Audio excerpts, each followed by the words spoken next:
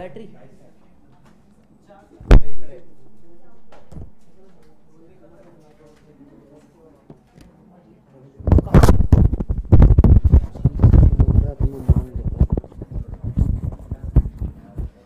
yes yes yes yes yes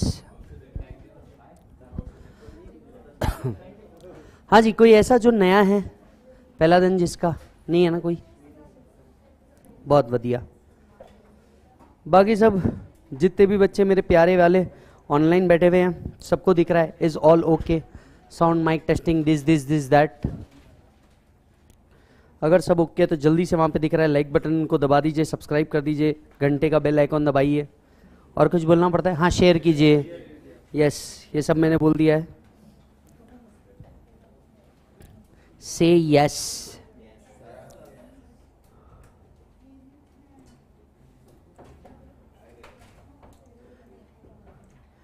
अच्छो good afternoon हाँ जी प्रभु जी हाँ एक मिनट एक मिनट याद आ रहा है आ रहा है मेरे को याद आ रहा है अगर आपको याद हो तो हमने चैप्टर नंबर वन का यूनिट नंबर टू चालू किया था से yes unit number two deal करता है basic problem of economy along with pricing policy की प्राइसिंग के ऊपर क्या इंपैक्ट पड़ने वाला है प्राइसिंग के ऊपर क्या इंपैक्ट पड़ने वाला है यस yes. अच्छा जी बहुत बढ़िया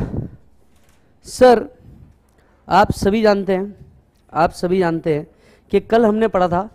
भैया इकोनॉमी की कुछ बेसिक प्रॉब्लम है इकोनॉमी की कुछ बेसिक प्रॉब्लम है क्या प्रॉब्लम है सर इकोनॉमी की क्यों प्रॉब्लम है भैया इकोनॉमी को क्या तकलीफ है देखिए कोई भी इकोनॉमी अब हम बात कर रहे हैं देश के इकोनॉमी की कोई भी इकोनॉमी की चार बड़ी प्रॉब्लम है how to produce what to produce for whom to produce and economic growth yes पहला व्हाट टू प्रोड्यूस हम क्या प्रोड्यूस करें किसी भी इकोनॉमी को ये सिलेक्ट करना पड़ता है हम गन बनाए मशीन बनाए कैपिटल असेट्स बनाए या कंज्यूमेबल गुड्स बनाए ये पहला इशू है जो किसी भी इकोनॉमी को क्या करना पड़ता है सॉल्व हाउ टू प्रोड्यूस हम कैपिटल इंटेंसिव में जाएं या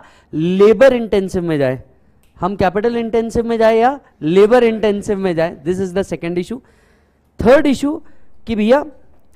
फॉर हुम टू प्रोड्यूस क्या हम रिच लोगों के लिए प्रोड्यूस करें पुअर पीपल के लिए प्रोड्यूस करें किसके लिए प्रोड्यूस करें चौथा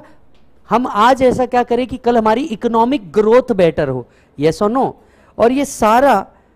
क्यों हो रहा है because resources are scared so this is a central economic problem this is a central economic problem this is a central economic अरे this is a central economic problem अब आपकी इकोनॉमी कोई भी हो कैपिटलिस्ट हो सोशलिस्ट हो या mixed हो यहां पे इकोनॉमी प्रॉब्लम चलता है और इकोनॉमी प्रॉब्लम का मेन इश्यू है रिसोर्सेज और स्केर्ड तो ऐसे केसेस में आपको डिसीजन लेने पड़ते हैं अब कल तक के तो हमने देख लिया था कि इकोनॉमी के मेन चार इशू कौन से हैं लेकिन कल हमारा टॉपिक का डिस्कशन बचा था कि भैया इकोनॉमी तीन प्रकार की होती है कैपिटलिस्ट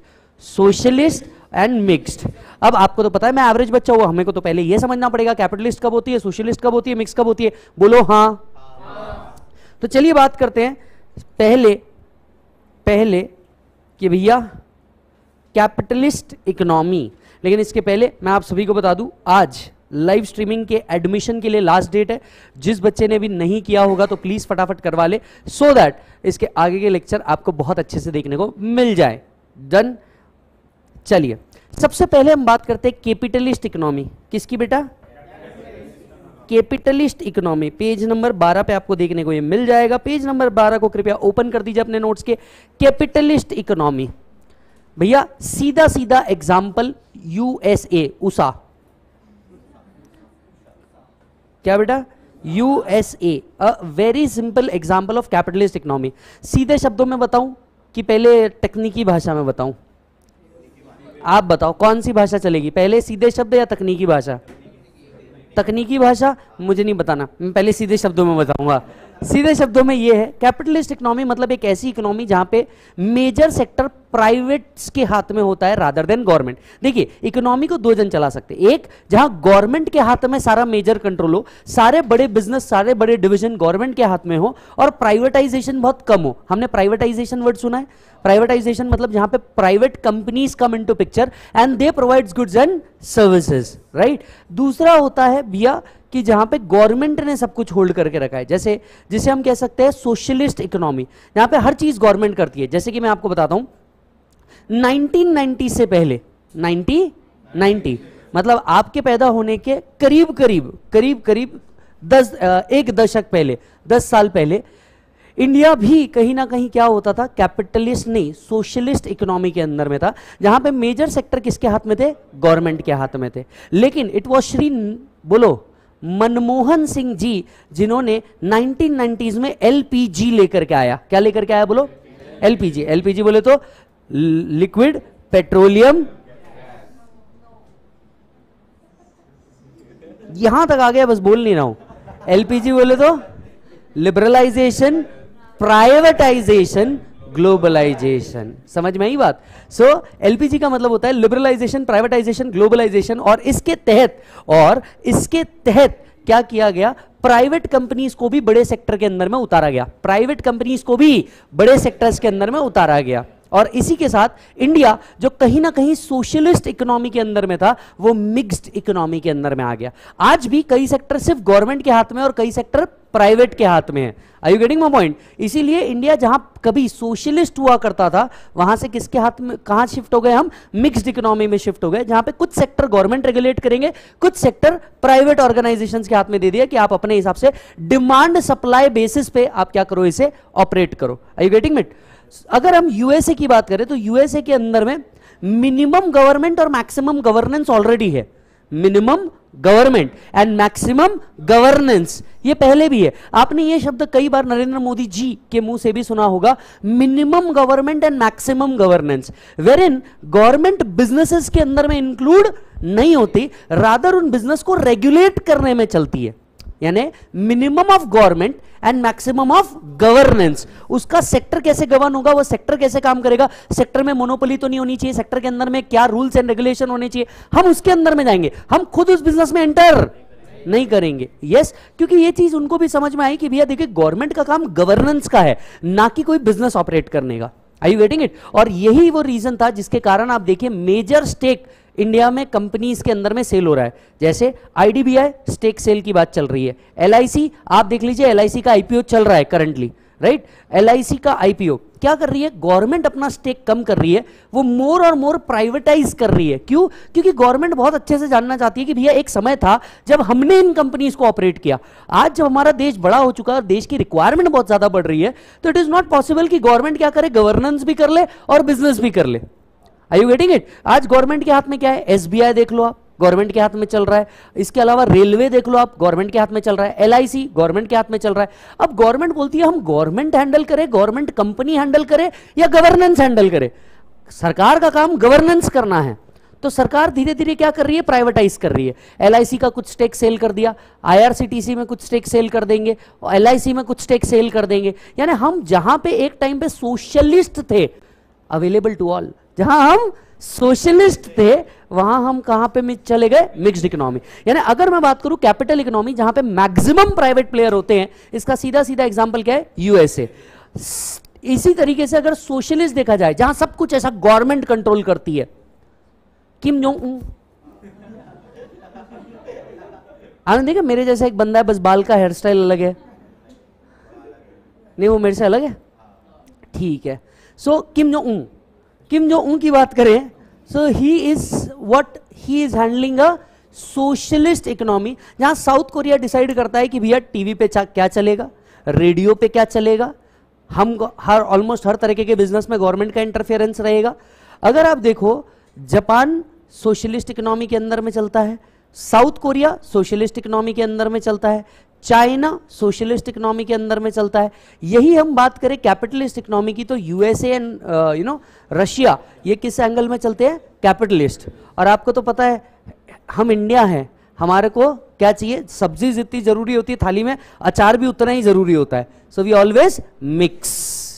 we always mix हमें दाल जितनी जरूरी होती है उतना ही हमें थाली में मीठा भी जरूरी होता है we always mix we always mix तो सीधे सीधे एग्जाम्पल चलिए जल्दी से एक जहां पे पूरा प्राइवेट सेक्टर को प्रमोट किया जाता है ऐसी economy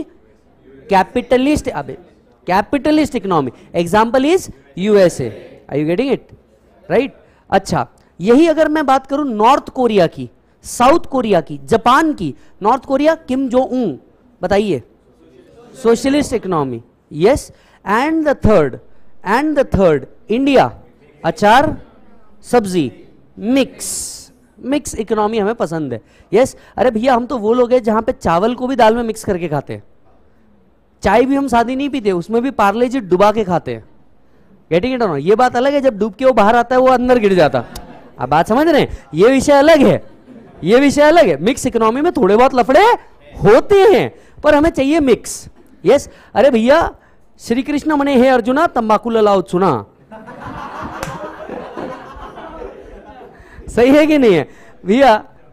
I guess this is a Marathi saying yes if I am not wrong Shri Krishna मने हे अर्जुना तम्बाकू लाओ चुना जिसका मीनिंग होता है कृष्ण अपने प्यारे से दोस्त को कहते हैं कि मैं तेरा दोस्त हूँ मैंने तम्बाकू लाया तो चुना लेकर के और हम दोनों मिलकर के खाएंगे हालांकि ये भगवान के एंगल से सही नहीं है but this is a saying in Marathi if I am not wrong yes so हम हमेशा हर चीज़ को मिक्स करने में देखते हैं यस इनफैक्ट हमारा कोई दोस्त भी बन जाता है ना तो हम तो उससे बहुत आगे तक की चीज़ें सोच लेते हैं समझ में आ रही हो हमारे यहां हमेशा क्या होता है बेटा मिक्स आप बात समझ रहे हो सो so, अगर देखा जाए अगर देखा जाए मालिक सो मिक्स्ड इकोनॉमी वापस से फटाफट कैपिटलिस्ट मतलब किसको प्रमोट करेंगे private sector example USA socialist मतलब सारी चीजें किसके हाथ में होगी गवर्नमेंट गवर्नमेंट है मतलब पब्लिक है पब्लिक है मतलब सोशल है आई ला गवर्नमेंट है मतलब पब्लिक है पब्लिक है मतलब सोशल है आई ला सो ऐसी इकोनॉमी नॉर्थ कोरिया किम जो साउथ कोरिया जापान राइट और तीसरा भैया ऐसा देश है मेरा हम हर चीज को क्या करेंगे मिक्स करेंगे तो अगर आपसे म स क्यू पूछा जाए एमसीक्यू अगर आपसे म स क्यू पूछा जाए कि भैया इंडिया कौन सी इकोनॉमी में फिट होती है हमें तो बताना है भैया मिक्स इकोनॉमी कैसी इकोनॉमी बेटा mix economy I getting my point मालिक चलो बहुत बढ़िया बात है सो so, सीधे शब्दों में हमारे प्यारे बच्चों ने समझा ये इतने बड़े बड़े तकनीकी शब्द दिखे कैपिटलिस्ट सोशल इतना काम ही नहीं है कैपिटलिस्ट मतलब जहां पे प्राइवेट ओनर इन्वॉल्व होते हैं मेजर चीज़ें प्राइवेट के हाथ में होती है social and mixed yes economy कौन सी अच्छी ये हर जोग्राफिकल एरिया के हिसाब से अलग अलग चीज़ें होती है हर इकोनॉमी की सिचुएशन अलग है अब जैसे तालिबान को देखा जाए तालिबान को देखा जाए करंटली अब तालिबान के केस में आप बोले ना बोले सब कुछ किसके हाथ में चले गया सोशलिस्ट यस सोशलिस्ट पे शिफ्ट हो गए मतलब वहां की इकोनॉमिक कंडीशन वहां की जियोग्राफिकल कंडीशन वहां पे क्या प्रोड्यूस होता है क्या सेल होता है इस कंडीशन को देखते हुए हर इकोनॉमी तीन में से एक सेक्टर क्या करती है डिसाइड करती है तीन में से एक सेक्टर वो डिसाइड करती है कि हमें कैपिटलिस्ट रहना है सोशल अच्छा ऐसा है क्या कि आप कैपिटलिस्ट हो गए तो सोशलिस्ट में नहीं जा पाओगे जा सकते हैं सोशलिस्ट हो गए तो मिक्स में नहीं जा पाओगे जा सकते हैं इंडिया एक टाइम पे सोशलिस्ट हुआ करता था बाद में वो क्या हो गया मिक्स हो गया I you getting my point चलिए so capitalist economy page number बारह आप सभी के सामने एग्जाम्पल रखते हुए उषा कैपिटलिस्ट इकोनॉमी जहां पे मैक्सिमम प्राइवेटाइजेशन होता है यस yes, आप चाहें तो इसके बाजू में लिखिए मैक्सिमम प्राइवेटाइजेशन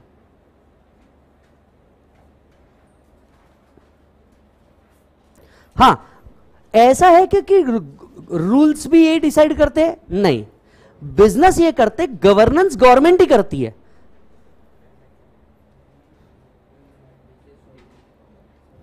अगर आप देखें कई साल पहले अगर आप देखें मालिक कई साल पहले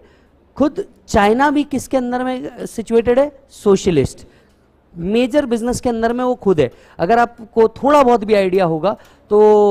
चाइना के वो अली बाबा डॉट कॉम के जैक मा राइट आपको अगर पता होगा बहुत ज़्यादा एक ही इंटरव्यू ने आदमी को ही गायब कर दिया आपको अगर थोड़ा बहुत भी पता हो एक बार एक इंटरव्यू के में उन्होंने चाइनीज़ गवर्नमेंट के अगेंस्ट में बोल दिया था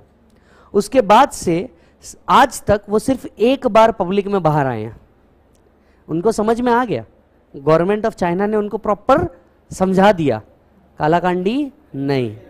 socialist economy getting it so चलिए प्राइवेट की बात करते हैं capitalism the predominant economic system in the modern global economy आज मॉडर्न ग्लोबल इकोनॉमी के अंदर में सबसे ज्यादा क्या चलना है प्राइवेट सेक्टर रीजन क्योंकि गवर्नमेंट हर जगह पूरी नहीं हो सकती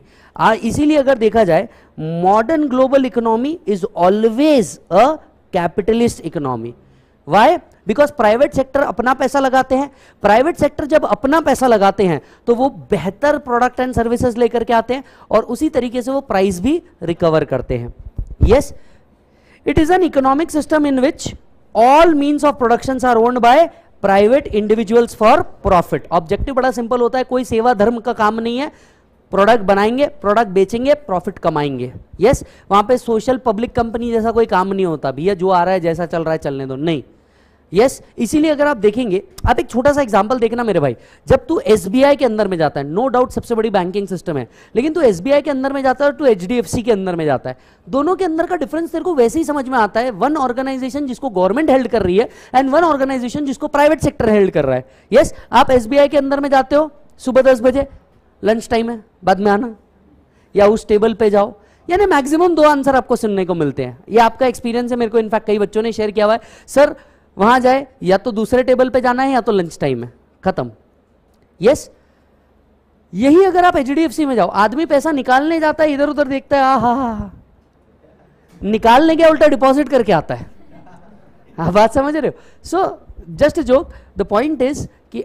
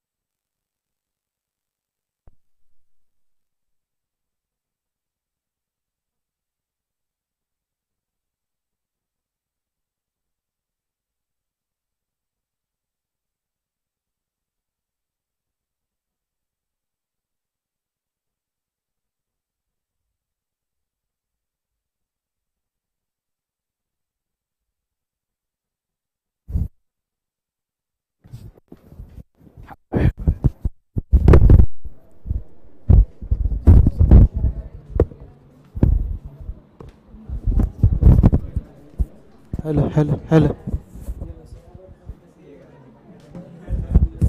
hello hello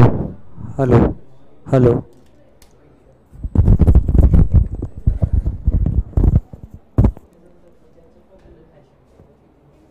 hello आवाज़ आई प्लीज़ चेक क्लियर आ रही है आवाज़ yes the voice is back haji let us start so agar aap dekhe private property is the mainstay of capitalism and profit motivates is driving force the decision of consumer and business determine the economic activity the government has limited role in management of economic affair under the system government क्या करेगी ऐसा है क्या capital economy आ गई मतलब government कुछ करने नहीं वाली ना मुन्ना ना गवर्नमेंट क्या करेगी गवर्नेंस जरूर करेगी yes business will not be done by government an economy is called as capitalist और अ फ्री मार्केट इकोनॉमी और अ लेजिस फेयर इकोनॉमी आई हाय इसके तीन नाम है घर के अंदर चिंटू बाहर बंटू और दोस्तों के बीच में so capitalist free market economy and laissez-faire economy. Are you getting my point? चलो एक मिनट क्यों ना हम रजिस्टर में टाइप ऑफ इकोनॉमी नाम की चीज डाल दें ठीक है और इसके अंदर में ऐसा तीन पार्ट बनाओ एक दो तीन ताकि हम जब पढ़े तीनों एक साथ पढ़ लें ठीक है पहला आता है बेटा कैपिटलिस्ट दूसरा आता है सोशलिस्ट तीसरा आता है mixed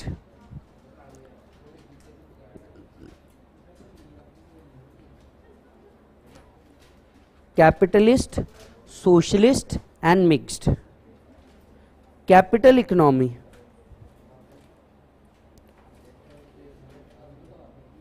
also called as free economy और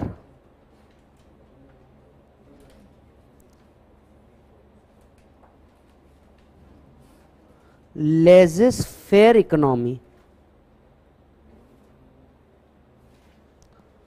capitalist economy is also called as free economic और लेजिस फेयर ये बड़ा होकर के एमसीक्यू बनेगा तो इसे प्लीज लिपस्टिक लगा के रखें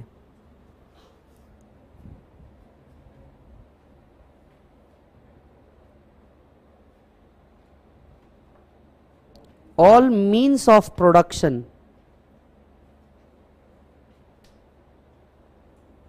are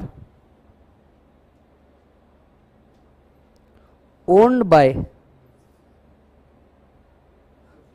private individuals for profit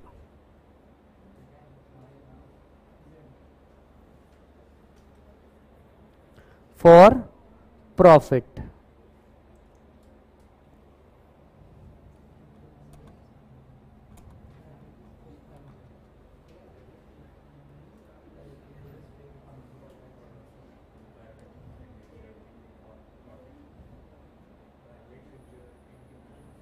government has limited role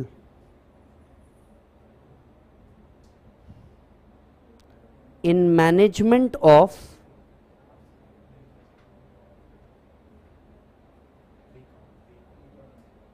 economic affair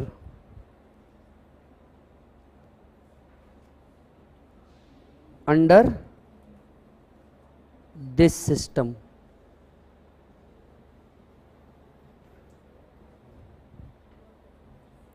laissez-faire economy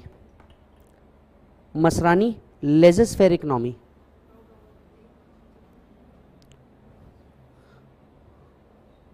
Highlight this, government has limited role.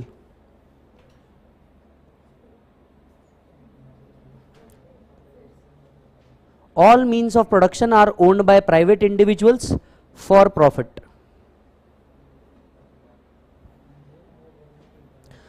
government has limited role in management of economic affair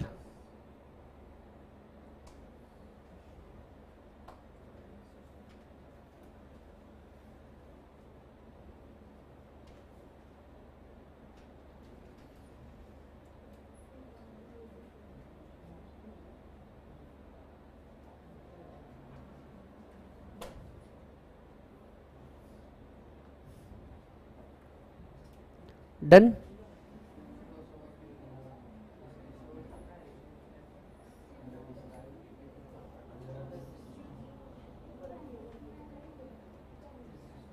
done है मेरे बच्चा इधर आइए ये लिख लिया बेटा सबने चलो इधर आओ page number thirteen it has following characteristic इसके कुछ कैरेक्टरिस्टिक है अब चूंकि आप मेरे साथ थ्योरी पढ़ रहे हैं तो मुझे आपको बताना जरूरी है is there any difference between characteristic and features क्या कैरेक्टरिस्टिक अलग है और फीचर्स अलग है या दोनों सेम ही चीज है सेम ही चीज है चलिए आज मैं आपका बीएमडब्ल्यू क्लियर करता हूं बीएमडब्ल्यू बेसिक में वांदे आज मैं आपके बेसिक में वांदे क्लियर करता हूं ये दोनों अलग अलग चीजें हैं पूछो कैसे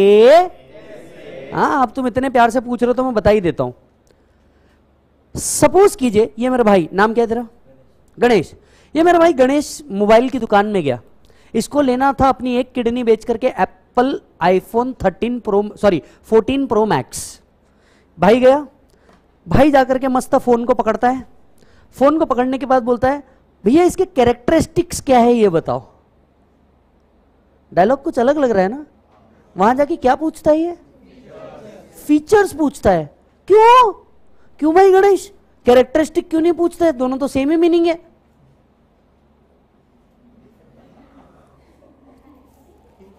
दया कुछ तो गड़बड़ है अगर दोनों के सेम ही मीनिंग होते तो गणेश मेरा भाई जाकर के पूछता ना इसके कैरेक्टरिस्टिक बताओ पर गणेश तो पूछता है इसके फीचर्स बताओ तो दोनों सेम दया पता लगाओ अगर लाश पानी में गिरी है इसका मतलब लाश गिल्ली होगी पता लगाओ कि आखिर दोनों के बीच में फर्क क्या है चाय पिलाओगे तो बताऊंगा पिलाओगे चाय नहीं देख भाई मैं पहले ही बता दे रहा हूं अपन कॉफ़ी वाले नहीं अपन चाय वाले हैं ठीक है और एक शायरी से कहना चाहूंगा अपनी इस चाय के मोहब्बत को इजाज़त है क्या बोलते हैं इरशाद इरशाद ठीक है क्या बोलते हैं इरशाद हाँ बहुत अच्छी बात है कि मान लो मेरी एक राय मान लो मेरी एक राय मोहब्बत से बेहतर है चाय तो भाई साहब देखो अपन तो चाय वाले चाय पिलाओगे तो बताऊंगा दोनों के बीच में डिफरेंस क्या है पिलाओगे नहीं पिलाओगे चलो पिला दोगे चलो बहुत बढ़िया अब इधर सुनना फीचर्स और कैरेक्टरिस्टिक कहीं ऊपर पेज खाली है जो बॉर्डर लाइन है उसके ऊपर लिखना फीचर्स और कैरेक्टरिस्टिक फीचर्स और कैरेक्टरिस्टिक्स में क्या डिफरेंस है सर बहुत बड़ा डिफरेंस है फीचर्स मीन्स कैसा है कैरेक्टरिस्टिक मीन्स कैसा होना चाहिए ये आइडियलिस्टिक सिचुएशन की बात करता है ये रियलिस्टिक सिचुएशन की बात करता है इसीलिए जब हम फोन देखने जाते हैं हम वहां पे बोलते हैं इसमें क्या क्या है इसके फीचर्स क्या है हम वहां पे ये नहीं बोलते कि उसका कैरेक्टर है ये विषय अलग है आज तक ग्यारहवीं बारहवीं के अंदर में तुमने दोनों का आंसर सेम ही लिखा है ये विषय अलग है पर आप देखिएगा आपकी बुक के अंदर में उठा के देखिएगा लेकिन दो क्वेश्चन अलग अलग थे दो क्वेश्चन अलग अलग थे features of this characteristic of this हालांकि दोनों के आंसर में आपने डिफरेंस नहीं पड़ा वहां के टीचर ने कभी बताया ही नहीं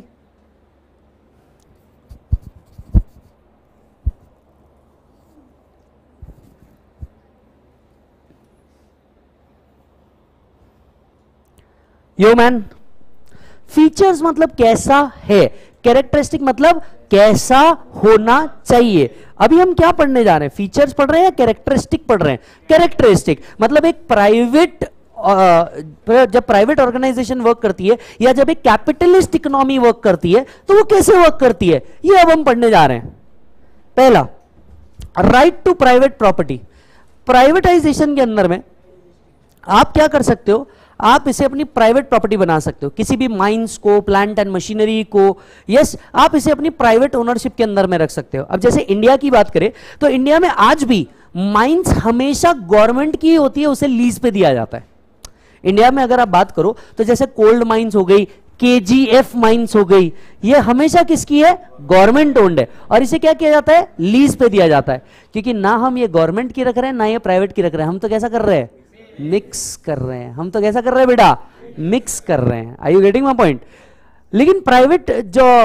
कैपिटलिज्म होता है कैपिटलिज्म के अंदर में ये माइंस या अदर प्रॉपर्टी ये आप अपने नाम पे रख सकते हो ये आप अपने नाम पे रख सकते हो फॉर एग्जाम्पल ये मेरा भाई गया खेत के अंदर में पहला फावड़ा मारा अंदर से कोल निकला आज अगर ऐसा होता है इंडिया के अंदर में ये प्रॉपर्टी गवर्नमेंट के पास जाती है और वो आपको लीज पे मिलती है यस एक्सट्रैक्शन के लिए यही अगर हमारी इकोनॉमी प्राइवेट इकोनॉमी होती तो ये आदमी बोलता है ये मेरी लैंड और इस लैंड के अंदर से जो कुछ निकला वो सब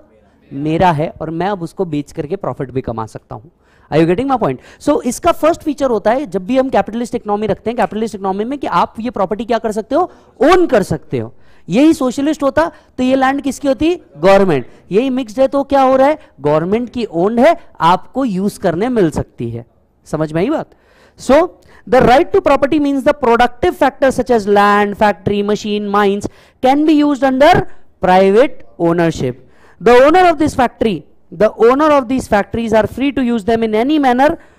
in which they like and bequeath as it they desire वो उसको कैसे भी यूज कर सकते हैं अपने एंड के ऊपर वो जैसा चाहे उसका जो यूज करना चाहे कर सकते हैं the government may put some restriction for the benefit of society हाँ गवर्नमेंट कुछ रिस्ट्रिक्शन इसके अंदर में जरूर लगा सकते हैं कि इस प्रॉपर्टी के अंदर में क्या होना चाहिए क्या नहीं होना चाहिए हालांकि आपके पास राइट है कि आप कुछ भी कर सकते हो यस yes? अब जैसे एक छोटा सा एग्जाम्पल देता हूं राइट जैसे इंडिया में भी राइट टू प्रॉपर्टी आपका राइट है आप राइट ले सकते हो प्रॉपर्टी का लेकिन जनरली क्या किया जाता है रेसिडेंशियल प्रॉपर्टी में कमर्शियल एक्टिविटी अलाउड नहीं है येस और नो यस अच्छा वहां जाकर के मान लीजिए आपने कोई प्रॉपर्टी ली प्रॉपर्टी लेकर के आपने उसके अंदर में कोई गलत काम शुरू कर दिया गवर्नमेंट इसको अप्रूव करेगी नहीं आप डेफिनेटली काम कर सकते हो लेकिन कुछ जगह पे गवर्नमेंट क्या लगा सकती है रिस्ट्रिक्शन यहां पे ये हो पाएगा यहां पे ये नहीं हो पाएगा लगाया जा सकता है but you can own the property so this is one of the first feature this is one of the first feature second freedom of enterprise freedom of enterprise ये इंडिया में भी है फ्रीडम ऑफ एंटरप्राइज मतलब आप किसी भी तरीके के प्रोफेशन में एंगेज हो सकते हो आज मुझे एक बात बताइए जैसे साउथ कोरिया के अंदर में है साउथ कोरिया और चाइना के अंदर में भी है आपके घर का जो सेकंड या थर्ड बच्चा होगा इसे मैंडेटरीली मिलिट्री में जाना ही होगा इंडिया में ऐसा कुछ है इंडिया में ऐसा कुछ नहीं है इंडिया के अंदर में हमारे पास चॉइस है यस श्री बाबा साहेब आंबेडकर जी ने कॉन्स्टिट्यूशन को इतने ब्यूटीफुली ड्राफ्ट किया इतने ब्यूटीफुली ड्राफ्ट किया कि उन्होंने एक राइट right दिया है राइट टू वर्क हम किसी भी तरीके का प्रोफेशन चूज कर सकते हैं आज आप टेंथ पास हुए उसके बाद में आपको फ्रीडम मिला कि आप क्या करना चाहते हैं आपको किसी ने जोर जबरदस्ती की तू डांस करेगा तू तू गाना गाएगा तू बहू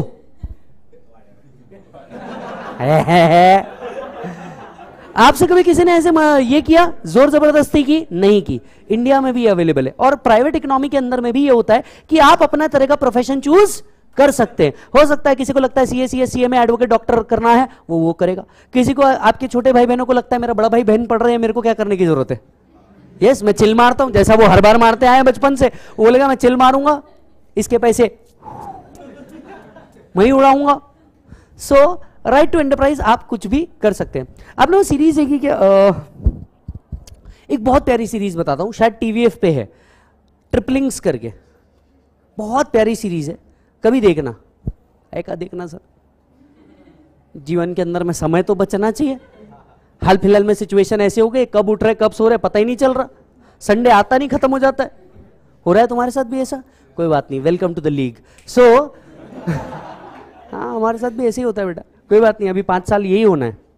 अभी पांच साल यही होना है सो फ्रीडम ऑफ एंटरप्राइज क्या बोलता है कि आप जो चाहे वो कर सकते हैं आपको नहीं लगता ऐसा मस्त इंग्लिश में अगर अपने थोड़े से हाथ तंग है आपके मेरे जैसे तो ऐसा लिख देना जो चाहो वो कर सकते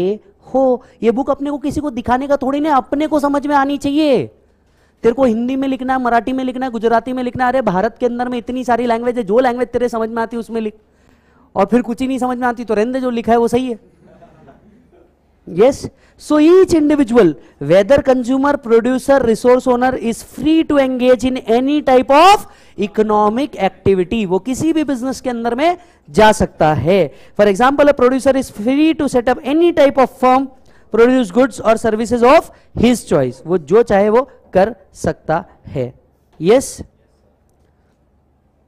प्रथमेश हंसते हुए कह रहा है सर आपका नाम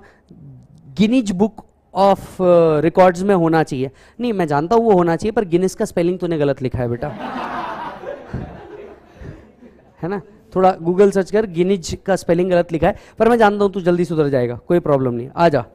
freedom of economic choice yes freedom of economic choice का मतलब क्या है आप अपने पैसे अपने मन मर्जी के हिसाब से खर्च सकते हैं वैसे ये चॉइस ये तो इंडिया में भी है आपके पास यस मम्मी पापा कितना बोलते रहते इधर उधर मत खर्च तू कभी सुनता है नहीं तेरे को तो वहीं खर्चना है जहां तेरे को खर्चना है क्यों बिकॉज तेरे पास फ्रीडम ऑफ इकोनॉमिक चॉइस है हमार, हमारी इकोनॉमी कैसी है बेटा मिक्सड इकोनॉमी है तो तेरे पास ये भी चॉइस अवेलेबल है आप अपने पैसे को कहीं से भी कमाओ कहीं से भी उड़ाओ आपका ऑप्शन है yes so all individual are free to make their economic choices regarding consumption work production exchange you can spend the way you want आप अपने हिसाब से इसे कहीं पे भी खर्चा कर सकते हैं कोई तकलीफ नहीं है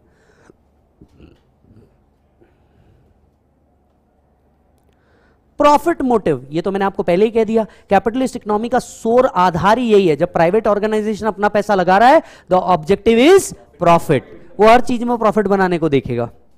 the profit is the driving force in a free enterprise economy and directs all economic activity वो हर चीज से प्रॉफिट बनाना चाहेंगे वो हर चीज से प्रॉफिट बनाना चाहेंगे प्राइवेट इकोनॉमी है desire for profit induce entrepreneur to organise production so as to earn maximum profit अब जैसे इंडिया में मिक्स्ड इकोनॉमी है इंडिया में कैसे बेटा मिक्स्ड इकोनॉमी है क्या आपको पता है आपकी एक फेवरेट चॉकलेट प्रॉफिट मोटिव का एक बहुत अच्छा एग्जाम्पल है आपको पता है मेरी तो खैर आज भी फेवरेट है आप मेरे से कोई भी काम करवा सकते हो चॉकलेट दे करके पता है किसमी मुझे मतलब पचास पैसे वाली चॉकलेट आती है यू नो कोई मतलब डेरी मिल्क भी उसका ये नहीं कर सकती it's a damn good chocolate if you agree वो लाल वाली चॉकलेट आती है वो छोटी वाली पचास पैसे के अंदर में एक वाली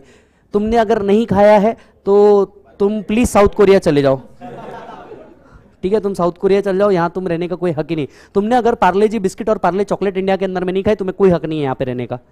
ठीक है हम्म क्या आपको बताए पार्ले जो चॉकलेट है वो टेक्निकली एक बाय प्रोडक्ट है बाय प्रोडक्ट मतलब जो किसी चीज के वेस्ट से बन के एक नया प्रोडक्ट बाहर आया है उसे हम कहते हैं बाय प्रोडक्ट कैसा बाय प्रोडक्ट सो ये पार्ले बिस्किट था पार्ले बिस्किट जब बनता था तो उनकी एक प्रेसिंग मशीन होती है इसको थोड़ा सा इस तरह से अंडरस्टैंड करके देखना नीचे डो होता है दैट इज आटा डो आटा और ऊपर से ऐसा प्रेसिंग मशीन आता है जिसके ऊपर वो डिजाइन नहीं बन के आती बाजू में फ्लावर फ्लावर बीच में फ्लावर तो क्या करता है वो डो के ऊपर जब लगता है तो आजू बाजू के जो एरिया रहते जो बिस्किट नहीं बनते वो क्या हो जाते कट हो जाते हैं अब ये जो कट वाली चीज थी ये वेस्ट हो रही थी बहुत ज्यादा क्योंकि ये वापस से डो बन के बाहर नहीं आ सकती थी तो दिमाग लगाया गया इसका क्या किया जाए था तो वो एक private organisation Parle Agro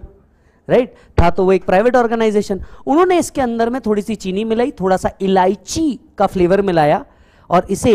कॉन्फिक्शनरी बना दिया दैट इज चॉकलेट्स बना दिया क्या बना दिया चॉकलेट और सिंस ये वेस्ट प्रोडक्ट से बने वाली चीज थी इसीलिए इसका प्राइस हुआ करता था 25 पैसा इनिशियली इसको बेचने के लिए उन्होंने क्या किया अगर आप पार्ले का बॉक्स लोगे तो आपको ये चॉकलेट भी फ्री है इसको आप एक रुपए में चार बोल करके बेच दीजिए और आपको जो प्रॉफिट बनता है बना लीजिए पार्ले बिस्किट बेच करके अगर आपको प्रॉफिट नहीं बनता तो ये चॉकलेट बेच करके आप क्या कीजिए प्रॉफिट बनाइए that is how the business was done initially और चॉकलेट इतनी ज्यादा फेमस हुई कि चॉकलेट अलग से बिकनी चालू हो गई सो so, देखिए वो हर जगह से क्या निकालना चाहेंगे प्रॉफिट वो हर जगह से प्रॉफिट निकालना चाहेंगे एग्जाम्पल लिखते का है नीरे example Parle chocolate was a by product of biscuits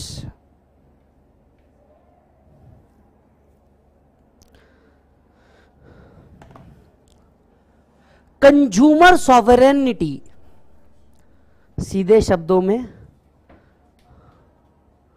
customer is king ये प्योरली कस्टमर बेस्ड इकोनॉमी होती है कस्टमर जो चाहेगा कस्टमर वो लेगा क्योंकि उसके पास फ्रीडम ऑफ मनी है तो कस्टमर इज द किंग अब आपको कस्टमर अगर ये प्रोडक्ट रेडी का खरीदने को रेडी है बाय करने को रेडी है तो कस्टमर इज किंग काम खत्म so consumer is suppose to be the king under the capitalism here the buyer ultimately determine the goods and services will be produce and in what quantities जितनी ज्यादा demand होगी आप उतनी quantity produce करते जाएंगे खत्म हो गई बात consumer have unbridled freedom to choose the goods and services which they will consume consumer के ऊपर डिपेंड करता है कि वो क्या कंज्यूम करेंगे अब आप देखिए इसी के लिए यूएसए या रशिया की बात करें तो वहां पे गांजा लीगलाइज भी क्या हुआ है because there the people decide what they wish to consume I you getting my point India में ऐसा है नहीं इंडिया में हमारे पास मिक्सड इकोनॉमी है तो आप क्या खाएंगे पियेंगे इस पर थोड़ा बहुत कंट्रोल गवर्नमेंट का होता है yes yes? therefore producer have to produce goods and services which are preferred by consumer consumer जो चाहेगा वो बनेगा वैसे अगर देखा जाए हमारे यहां मम्मी की सॉवरनिटी होती है घर पे डोंट यू थिंक सो टिंडे लौकी कंज्यूमर की चॉइस नहीं होती पापा का तो खैर चॉइस ही नहीं है आप बात समझ रहे हो पापा को ये जरूर पूछा जाता है क्या बनाओ पापा ने जो कुछ भी बोला नहीं पर उसमें तो ये पर उसमें तो वो पंद्रह प्रॉब्लम बाहर आ जाएंगे जो पप्पा ने बोला उसमें फिर अल्टीमेटली मम्मी वापस से यही क्वेश्चन पूछती क्या बनाऊ पप्पा बहन जो बनाना है बना ले जो बनाना है बना मैं खा लूंगा आपको मिलती कभी चॉइस क्या खा खाओगे मिलती है ऐसे कभी चॉइस एक खाद दिन कभी मिल गई वो भी मम्मी का मूड अच्छा रहा और पप्पा से झगड़ा हुआ हुआ रहा तो आपको आपके चॉइस का कुछ मिल सकता है नहीं तो आपके घर में आपकी भी सॉवरनिटी नहीं है नेक्स्ट इज कंपटीशन भाई साहब आप बताइए जब प्राइवेट प्लेयर उतर जाएंगे तो कंपटीशन बढ़ेगा या कम होगा बढ़ेगा क्योंकि बहुत सारे प्राइवेट प्लेयर आएंगे अरे जब सबका ही मोटिव प्रॉफिट है भाई जी जब सबका ही मोटिव प्रॉफिट है तो हर आदमी अपना प्रॉफिट निकालने की कोशिश करेगा कॉम्पिटिशन टफ रहेगा जिसमें बेनिफिट किसका होगा कंज्यूमर कंज्यूमर का बेनिफिट होगा जब टफ कंपटीशन होगा प्राइस डाउन आएंगे प्राइस डाउन आ जाएंगे सर्विसेज बेटर हो जाएगी इसमें कंज्यूमर का ही बेनिफिट है competition is the most economic feature of the capitalist economy competition bring out the best amongst the buyer and seller and a result in efficient use of resources absence of government interference मैंने क्या कहा complete absence रहेगा या कुछ absence रहेगा कुछ absence रहेगा government का गवर्नमेंट कंप्लीट एब्सेंस में नहीं रहेगी गवर्नेंस में जरूर रहेगी हाँ जी भाई जी गवर्नेंस में जरूर रहेगी बट आप ये मान के चलिए कि बिजनेस में इंटरफेरेंस कुछ नहीं रहेगा गवर्नमेंट का अब pure capitalist economy is not centrally plan control और regulated by government in this system all economic activity are guided by self interest and price mechanism which operates automatically ये सब automatically operate करता है इसको कोई other चीज की जरूरत नहीं पड़ती यस yes? चलिए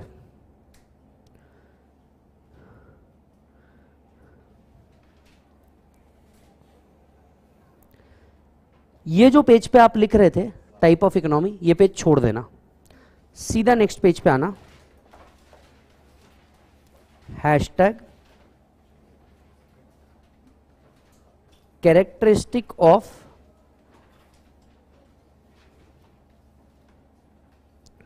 capital economy characteristic of capital economy point number one profit motive. Point number 2,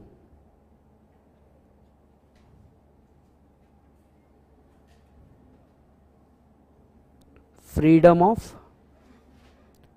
enterprise. One can do any activity of his choice. Third, freedom of property mines etc can be owned fourth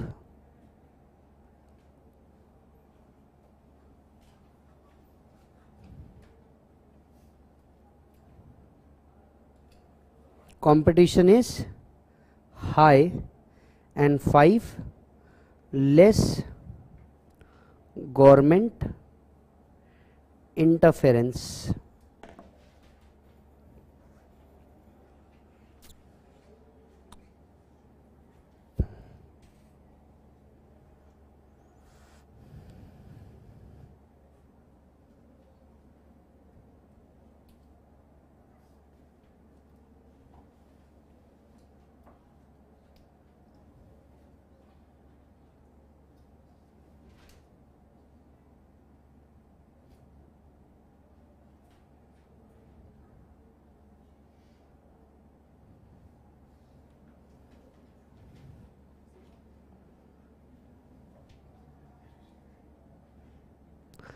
is that done so वापस से एक बार recall करें capitalist economy मेरे साथ सभी बच्चे वापस आए कैपिटलिस्ट इकोनॉमी इसे also called as free economy also called as laissez faire economy yes दूसरा सारे मीन्स ऑफ प्रोडक्शन किसके पास होते हैं प्राइवेट इंडिविजुअल्स के पास ऑब्जेक्टिव क्या होता है प्रॉफिट अर्न करना गवर्नमेंट का इंटरफेंस कैसा होता है लिमिटेड फिर हम यहां से निकले ये ढूंढने के लिए कि जनरली कैपिटलिस्ट इकोनॉमी कैसे वर्क करती है पहला हर आदमी यहां पे प्रॉफिट मोटिव के लिए काम करता है आप जो चाहे वो काम कर सकते हैं आप प्रॉपर्टी ओन कर सकते हैं आपका जो कॉम्पिटिशन रहेगा ये हमेशा हायर रहेगा क्योंकि बहुत सारे प्राइवेट प्लेयर एक साथ आ रहे हैं हाँ गवर्नमेंट का जो इंटरफेरेंस रहेगा वो बहुत कम रहेगा ये इसके कैरेक्टरिस्टिक है कैसा होना चाहिए समझ में ही बात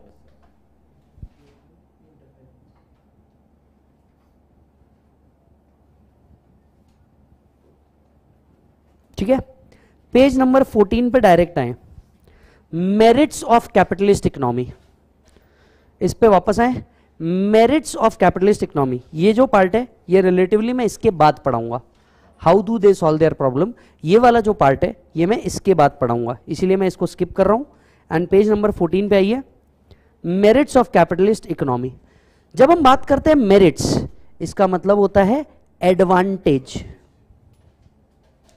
मैं जानबूझ करके आपको इन छोटे छोटे वर्ड्स के मीनिंग बताता रहता हूँ क्योंकि मैं समझता हूँ जैसे अगर मैं एवरेज बच्चा हूँ तो मेरे जैसा आप भी एक एवरेज बच्चे होंगे सो मेरिट्स मतलब एडवांटेज ऑफ कैपिटलिस्ट इकोनॉमी पहला एडवांटेज ये सेल्फ रेगुलेटिंग है सेल्फ रेगुलेटिंग है सेल्फ रेगुलेटिंग है गवर्नमेंट का इंटरफेरेंस कम है गवर्नमेंट का इंटरफेरेंस जितना कम होगा आप उतने फ्रीली ऑपरेट कर पाओगे हालांकि ये एक डिसएडवांटेज भी है नो डाउट ये एक डिसएडवांटेज भी है फिर आदमी अपने हिसाब से कुछ भी करना चाहेगा बट हाँ मोर और मोर देखा जाए एक पॉजिटिव एंड देखा जाए तो ये सेल्फ रेगुलेटिंग है किसी और का रेगुलेशन नहीं है work automatically through price mechanism work automatically through price mechanism ये work automatically through price mechanism क्या होता है भैया आप अपने हिसाब से अपना प्राइस चार्ज करते हो यस yes, लोगों को लग रहा होगा लोगों को लग रहा होगा वो क्या करेंगे लोगों को लग रहा होगा वो प्राइस मैकेनिज्म के हिसाब से डिसाइड करेंगे किसी को लग रहा होगा इस प्रोडक्ट का इतना प्राइस है और ये सही है तो वो उतना प्राइस ले सकता है वो उतना प्राइस दे सकता है तो ये प्राइस मैकेनिज्म पे बेस्ड इकोनॉमी होती है क्योंकि हर एक जन अपना डिसीजन खुद लेता है there is no need of incurring cost for collecting and processing information and for formulating and implementing monitoring policy आज गवर्नमेंट अगर इकोनॉमी होती तो गवर्नमेंट को क्या करना होता है डेटा कलेक्ट करना होता है प्रोसेस करना होता है फिर इंफॉर्मेशन आती है बाहर तो ये सारी चीज़ों के ऊपर पैसा लगाना बिल्कुल ज़रूरी नहीं है वो बोलते हैं कि भैया ये चलेगा the existence of private property and driving force for profit motive result in greater efficiency and incentive to work भैया जब ऑब्जेक्टिव ही प्रॉफिट है और लोगों को दिख रहा है काम करके प्रॉफिट आने वाला है तो लोगों की एफिशिएंसी बढ़ेगी आदमी बोलेगा मेरे को प्रॉफिट मिल रहा है मैं दनादन काम करूंगा मैं दिन में भी काम करूंगा मैं रात में भी काम करूंगा मेरा प्रॉफिट जनरेट हो रहा है मैं डेफिनेटली काम करूंगा आपने के जी एफ टू मूवी देखी अभी तक नहीं देखी देखिए नहीं देखी नहीं देखी होगी तो आप देख लेना कभी भी उसके अंदर में देखिए कि हीरो को पता चल जाता है कि भैया यहाँ पे एक माइन नहीं है नौ माइन है वो बोलता भाई मैं इतना देर वेट नहीं करेगा मैं दो साल के अंदर में पूरा सोना खोद देगा यानी जब ऑब्जेक्टिव क्या है प्रॉफिट तो आप अपनी क्या बढ़ा देते हो एफिशिएंसी बढ़ा देते हो कि भैया दिन में भी काम करो रात में भी काम करो सिर्फ इतने से सोने से कुछ नहीं होगा अपने को चाहिए दुनिया अपने को चाहिए दुनिया तो वो अपनी एफिशियंसी बढ़ा देता है एफिशियंसी बढ़ा देता है तो इंसेंटिव भी बढ़ेगा क्योंकि आप ज्यादा देर काम करोगे तो ज्यादा पैसा मिलेगा यस सिंपल फंडा हां या ना ठीक है economic growth is likely to be faster under capitalism. Economic growth to be faster under capitalism. This is because investor try to invest in only those project which are economically feasible. Economic growth is likely to be faster. क्यों क्योंकि लोग अपना पैसा वहीं invest करेंगे जो profit making होगा तो जाहिर सी बात है ट्रांसफर ऑफ वेल्थ बहुत जल्दी होगी जो ऑर्गेनाइजेशन प्रॉफिट कमा रहा है मैंने उसमें इन्वेस्ट किया तो वो मुझे क्या देगा डिविडेंट तो ट्रांसफर ऑफ वेल्थ भी जल्दी होगी सो so, कंपनी का तो फायदा हुआ इन्वेस्टर का भी फायदा हुआ आपको नहीं लगता ये फास्टर इकोनॉमिक ग्रोथ बनेगा क्योंकि लोग अपना पैसा वहीं लगाएंगे जहां प्रॉफिट है जहां पे प्रॉफिट ही नहीं जहां पे मेरे मतलब की बात नहीं वहां पे मैं रह के भी क्या करूं resources are are in the most productive activities result in op optimum allocation of resources कैसा बेटा ऑप्टिमम एलोकेशन ऑफ रिसोर्सेज मिलेगा क्यों क्योंकि कोई भी कंपनी को अगर अपना प्रॉफिट बढ़ाना है तो वो चीजों को सही तरीके से इस्तेमाल करना चाहेगी अब बाकी छोड़े ना हमारे घर पे क्या किया जाता है हमारे घर पे अगर एक भी लाइट एक्स्ट्रा जल रही होगी तो उसे क्या किया जाता है तुरंत बंद क्यों किया जा रहा है घर की सेविंग्स बढ़े optimum utilisation of resources optimum utilisation of resources क्योंकि ऑब्जेक्टिव अगर प्रॉफिट है तो लोग कॉस्ट कम करने को देखेंगे रिसोर्सेज ज्यादा से ज्यादा यूज करने को देखेंगे अरे भाई साहब कचरे से भी प्रॉफिट बनाने को देखेंगे वेस्ट टू वेल्थ मैनेजमेंट की ओर जाएंगे क्या क्या क्या बोला मैंने waste to wealth management waste to wealth management अरे छोटा सा एग्जाम्पल पूछो ना मेरे से एग्जाम्पल तो बोलो सर पेप्सी हाँ। की बॉटल आपने पेप्सी की बॉटल को देखा है करवी सी आपने कोक की बोतल को देखा है करवी सी आप पी लेते हो इसके बाद क्या होता है ये बोतल घर पे लेके जाते हो या वहीं छोड़ते हो वहीं छोड़ देते हो प्लास्टिक की बोतल घर पे लेके जाते हैं कांच की बोतल क्या कर देते हो वहीं छोड़ देते हो बराबर है इससे क्या होता है प्लास्टिक की बोतल भी जब आप यूज़ कर देते हो आप कचरे में डाल देते हो इसके बाद क्या होता है इसका पता है आपको इसके बाद ये जो कांच की बोतल होती है ये वापस जाती है रीबॉटलिंग प्लांट में ये कहाँ जाती है रीबॉटलिंग प्लांट रीबॉटलिंग प्लांट के अंदर में इसे गर्म पानी से धोया जाता है स्टरलाइज किया जाता है साफ किया जाता है और यही बॉटल्स वापस से क्या करती है कंपनीज के अंदर में जाती है रीफिल होती है नया ढक्कन लगाया जाता है और वापस आता है इनफैक्ट जो ढक्कन अपन टक करके खोल देते हैं ना वो भी किलो के भाव में वापस कंपनी तक जाता है क्या आपको ये आइडिया था कोको कोला की रीबॉटलिंग प्लांट्स भी है आप जो बॉटल प्लास्टिक की फेंक दे रहे हो ये बॉटल के साथ भी सेम चीज़ होती है ये वापस जाता है अगर ये रीयूजेबल होगा तो ये रीयूज होता है नहीं रीयूजेबल होता है तो ये प्लास्टिक के अगेन छोटे छोटे मॉलिक्यूल बनते हैं ये छोटे छोटे मॉलिक्यूल से वापस से क्या बनाया जाता है बॉटल बनाई जाती है रीब्रांडिंग रीपैकिंग होता है और वही वापस आता है समझ में आ रही बात यानी वो वेस्ट टू वेल्थ मैनेजमेंट की ओर जा रहे हैं और जाहिर सी बात है अगर ऐसा होगा तो प्रॉफिट ज्यादा होगा और बेटर यूटिलाइजेशन ऑफ रिसोर्सेज होगा there is usually high degree of operative efficiency production cost is minimise like I said production cost minimise किया जाता है नई बॉटल खरीदोगे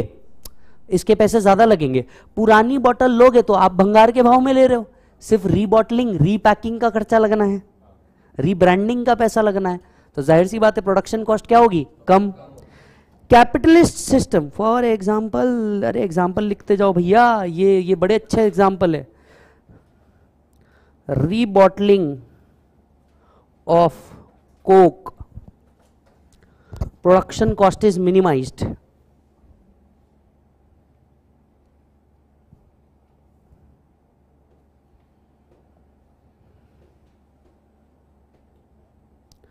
reuse of glass bottle of Pepsi. Example मैं देता हूं तो सुनते मत रहा करो जहां जहां एग्जाम्पल दे रहा हूं मैं अगर कभी लिखाना भूल भी गया तो ये आप एग्जाम्पल लिखते जाओ capitalist system offer incentive for efficient economic decision and their implementation consumer are benefited as competition forces produced to bring in the large variety of good products at reasonable price so consumer are benefited variety of goods quality at reasonable price this along with the freedom of choice ensure maximum satisfaction to customer maximum satisfaction to customer this also brings in higher standard of living कम price के अंदर में better quality मिलती है जब कम price में better quality मिले तो आदमी का स्टैंडर्ड ऑफ लिविंग उठता है यस yes? जैसे कि जैसे कि अगर आप देखें तो पावर बैंक्स पहले एक ज़माना था जब नए नए पावर बैंक आए थे 500 सौ एम एच हज़ार एम एच के पावर बैंक ये मिलते थे पाँच पाँच दस दस हज़ार रुपये के अंदर में जब बहुत सारे लोग पावर बैंक बिजनेस के अंदर में घुसे तो क्या हुआ पावर बैंक के प्राइस कम होने लग गए आज बीस हजार एम का पावर बैंक जो टेक्निकली आपके मोबाइल को तीन बार चार्ज कर सकता है क्योंकि आपकी जो बैटरी है चार हज़ार पाँच हज़ार एम की रहती तो टेक्निकली तीन बार आपका पावर बैंक क्या कर सकता है आपके मोबाइल को हंड्रेड परसेंट चार्ज कर सकता है बीस हज़ार एम का पावर बैंक मात्र एट हंड्रेड रुपीज़ में अवेलेबल है उसमें भी अगर तुम क्रेडिट कार्ड डेबिट कार्ड लगा दो तो दो सौ तीन सौ रुपये का ऑफ मिल जाता यही अगर तुम खरीद रहे हो जीएसटी क्रेडिट मिल जाता सौ डेढ़ सौ रुपए का तो आप सोच करके देखिए कंपटीशन ने कितनी महंगी चीज़ को कितना सस्ता कर दिया यस yes? और इससे आज जो हर एक व्यक्ति यू नो चार चार पाँच पाँच हज़ार के पावर बैंक अफोर्ड नहीं कर सकता था अगर सेवन हंड्रेड रुपीज़ में आ गया तो हर छोटा बड़ा आदमी इसे लेने की कोशिश करेगा क्यों क्योंकि अब उसका स्टैंडर्ड ऑफ लिविंग क्या हो जाएगा हाई पहले आपको पावर बैंक किसके पास दिखते थे सेलिब्रिटी के पास दिखते थे मोबाइल के साथ साथ पावर बैंक लगा हुआ है चार्जिंग करने का टाइम नहीं है एक जगह रुक के तो वो क्या करता है आज आज हर कोई मतलब एक ट्रेन में भी अगर वो चढ़ रहा है और ट्रेन चौबीस घंटे की है तो वो बोलता क्या पता प्लग मिले ना मिले मैं अपना पावर बैंक लेके चढ़ जाऊँ खत्म हो गया काम get it the capitalism offer incentive for innovation and technological process जब आपका ऑब्जेक्टिव प्रॉफिट होगा तो आप नए नए नए नए प्रोडक्ट्स लेकर के आओगे जब नए प्रोडक्ट्स लेकर के आओगे तो टेक्नोलॉजिकल इनोवेशन होगा प्रोग्रेस भी होगी you will bring new product for profit आप सीधा सीधा नए प्रोडक्ट लेकर के आओगे प्रॉफिट के लिए जब ऑब्जेक्टिव ही प्रॉफिट है एग्जाम्पल वीवो एम आई आप देख लो हर महीने एक नया फोन लॉन्च कर देते क्या करते नए फोन में या तो किसी का पावर कम कर देते या तो किसी की बैटरी कम कर देते किसी का यू नो कैमरा बढ़ा देते या कुछ इसी तरीके की कोई चीज कर देते I you getting my point क्या हो रहा है प्रॉफिट थोड़ा सा टेक्नोलॉजिकल चेंज करते टेक्नोलॉजिकल चेंज करके नया प्रोडक्ट लॉन्च कर देते कोई ना कोई जा करके क्योंकि किसी ना किसी के बजट में वो बैठता है वो जा करके प्रोडक्ट खरीदता and that's how overall profitability is increased prefers fundamental right such such right to freedom right to property etcetera etc. For participant enjoy maximum amount of autonomy and freedom autonomy आप अपने हिसाब से कुछ भी choice कर सकते हो और ये आपका फ्रीडम है capitalism reward initiative and enterprise and punish the imprudent and efficient अगर आप अच्छी चीज दे बेच रहे हो कम प्राइस में बेच रहे हो आपको रिवॉर्ड मिलेगा लोग आपके प्रोडक्ट को खरीदेंगे अगर आप अच्छी चीज नहीं दे रहे हो लोग आपको क्या करेंगे पनिश करेंगे और आपके प्रोडक्ट को खरीदना बंद कर देंगे good product sold more bad product out of market that's how punish punish का मतलब ये नहीं है वो पकड़ के मारेंगे ओ चम्मी कपूर पनिश का मतलब ये नहीं है वो पकड़ के मारेंगे आपका प्रोडक्ट गुड है गुड प्राइस पे है दे विल बाय मोर ये दिल मांगे मोर यही आपका प्रोडक्ट खराब है सीधा मार्केट से आउट कर देंगे आपको नहीं चल रहा भैया capitalism usually function in a democratic framework ये डेमोक्रेटिक क्या है हम आगे डिस्कस करेंगे the capitalist setup encourage enterprise and risk taking जाहिर सी बात है ये एनकरेज करता है रिस्क टेकिंग को क्योंकि प्राइवेट प्लेयर्स इन बिजनेस के अंदर में आएंगे तो वो रिस्क लेंगे आंट्रप्रेन्योरशिप लेंगे और आएंगे शार्क टैंक नए नए लोग आ रहे हैं रिस्क ले रहे हैं क्यों क्योंकि इंडिया मिक्स्ड इकोनॉमी है तो वो कैपिटलिज्म के भी ध्यान दे रहे हैं कि मैं अपना प्राइवेट ऑर्गेनाइजेशन ओपन करूं profit motive Kumaon and that's how business will be done so it promote the new enterprises and risk taking yes example लिखो ना बे Shark Tank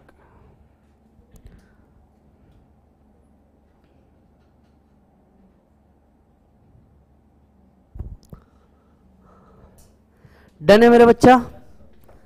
that's it advantage आज हमने लिखे नहीं है नेक्स्ट लेक्चर के अंदर में हम इसके एडवांटेज भी लिखेंगे आज बस हमने क्या लिखा है इकोनॉमी तीन प्रकार की होती है पहले समझा कैपिटलिस्ट मतलब क्या होता है उसके कैरेक्टरिस्टिक समझे एडवांटेज हमने पढ़ लिए लिखना बाकी है नेक्स्ट लेक्चर के अंदर में करेंगे बाय बोलो बच्चों किसी भी स्टूडेंट को कोई डाउट होगा तो प्लीज क्या कीजिए हम तक पहुंचिए इसके अलावा जिन जिन बच्चों को एडमिशन लेना होगा आज लास्ट डे है आपके इस प्राइस का जो ये है आज लास्ट डे है आप कॉल कर सकते हैं eight nine five six seven eight four two five one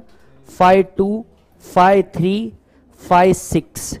इनमें से किसी नंबर पे भी आप क्या कर सकते हो कॉल कर सकते हो और कॉल करके पूरे प्रोडक्ट का इंफॉर्मेशन ले सकते हो तो ये सेल्स टीम का नंबर है आज आप क्या कर लीजिए इनसे फटाफट अपने एडमिशन करा लीजिए लाइव स्ट्रीमिंग यूट्यूब के ऊपर का आज लास्ट डे है इज दैट डन किसी भी तरीके का कोई डाउट होगा और और किसी भी तरीके का कोई डाउट होगा या मन में कोई बात होगी तो जरूर कमेंट करके नीचे लिख दीजिएगा हम लोग पढ़ लेंगे बाय बोलो बच्चों